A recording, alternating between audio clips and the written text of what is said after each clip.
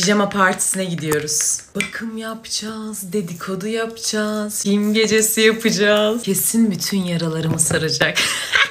Yüzüme çok fazla bir şey yapmayacağım. Konsepte herkes bir renk seçiyordu. Ben de lileyi seçtim. Allah'tan az bir şey süreceğim dedim. Çoğunu düşünemiyorum. Ama ne yapayım yaptıkça yapasım geliyor. Yastık savaşı yapacağımız için her yerim şöyle bir kırmızı kırmızı olsun. Ne alakaysa. Bu arada parti en yakın arkadaşımın evinde oluyor. Evi de çok yakın yani pijamayla nasıl dışarı çıkacaksın diye boşuna sorgulamaya hiç girmeyin. Ayrıca ben pijamayla bakkala da gidiyorum.